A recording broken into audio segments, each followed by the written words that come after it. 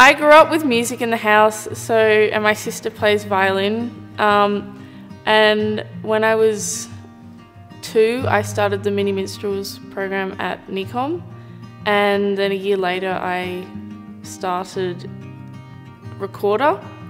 Um, and then I really wanted to play a string instrument, so when I was four, I started on cello, and then when I was eight, I started trumpet. So I've been playing music for 15 years. I love like the community aspect of music. Um, I love playing in orchestras and singing in choirs, and it's just yeah, really fun to have like friends within those kind of